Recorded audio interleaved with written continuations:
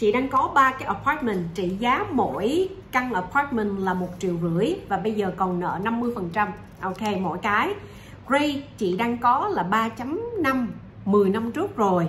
Chị đang tính lấy tiền ra để mua thêm đầu tư. Nhưng mà Ray bây giờ là chị nghe nói là 8 đến 9 chấm lận, cao quá. Theo trên thì có nên không? Tổng giá trị tài sản chị đang có hiện tại là khoảng 4 triệu rưỡi.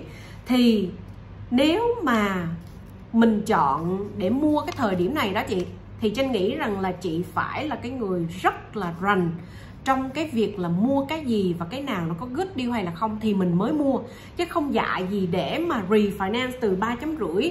Ok, để lấy 8 9 chấm đó là một cái nợ nó gần như là gấp đôi, gấp ba lần cái cái hiện tại mình đang có, cái rate mình đang có, đúng không?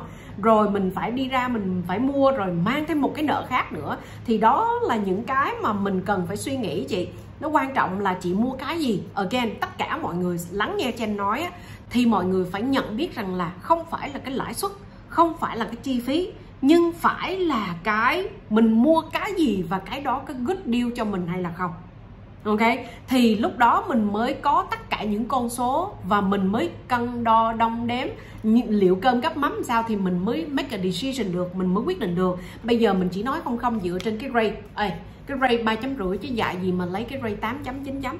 Đúng không? Nếu mà so sánh về cái rate thôi đó thì tôi sẽ lấy cái rate thấp hơn là chắc chắn rồi. Nếu mà nói đến hai đồng và 10 đồng thì tôi lấy 10 đồng là chắc chắn rồi. Hiểu cái trên nói không? Tất cả mọi thứ á trên muốn á là khi mà mọi người đã đi vào con đường làm ăn và kinh doanh và đầu tư rồi, thì mọi người phải nắm tất cả những con số. Khi có tất cả các con số trên bàn, thì sao?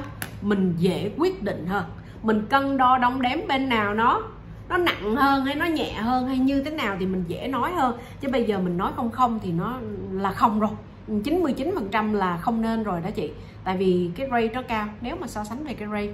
Còn nếu như mà cái rate cao, nhưng mà thực ra bây giờ chị đang có một cái ông khách hàng ông đang cần tiền quá. Ông bán một cái apartment cũng trị giá triệu rưỡi đi nhưng mà ông bây giờ ông bán triệu hai. Mua không? Mua liền. Triệu rưỡi giá trị thật. Trên appraisal report hay trên định giá hay trên cái thị trường hiện tại. Nhưng mà ông bán mình có triệu hai thôi. Thì cái gap đó cái, cái profit gap đó là anh 300 ngàn. Thì tại sao mà mình không dám lấy 10% tiền lợi để mình mua cái triệu hai đó? Hiểu không? Cái good deal khi mà mình mua được cái đó rồi thì sao? 9 chấm 10 chấm 12 chấm 15 chấm, chơi hết. Tại sao? Mình có thể refinance mà anh chị em.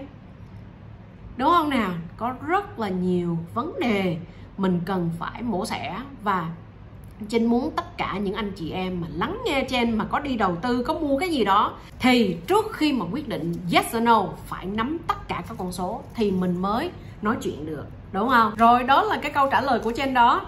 Phải nắm được con số à, phải biết được cái điều thì mình mới ra quyết định nhanh gọn lẹ.